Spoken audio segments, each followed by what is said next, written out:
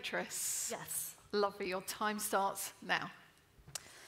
Here's news for you anti vaxxers are not irrational.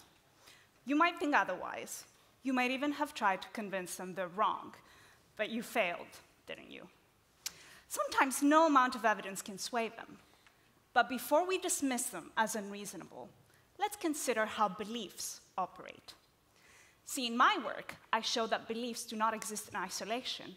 Rather, they form intricate networks. Take, for instance, the belief that vaccines are harmful. We know that it is correlated with the belief that natural is always better, a belief that the disease is not so severe, and trust in parental intuition. All these beliefs reinforce each other, making each one impossible to change in isolation.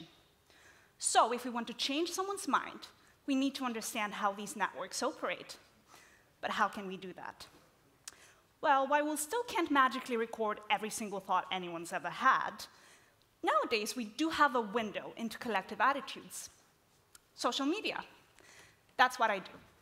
In my work, I use natural language processing to extract beliefs from the social media data. Then, by looking at how frequently do beliefs coexist, I am able to work out the underlying structure of the network using machine learning. I then use these models to simulate how strategic interventions in the network can influence one's entire worldview. Once we are able to dissect these networks, we can begin to understand how seemingly irrational beliefs are actually upheld from purely rational principles. Let's just hope we're in time for the next pandemic.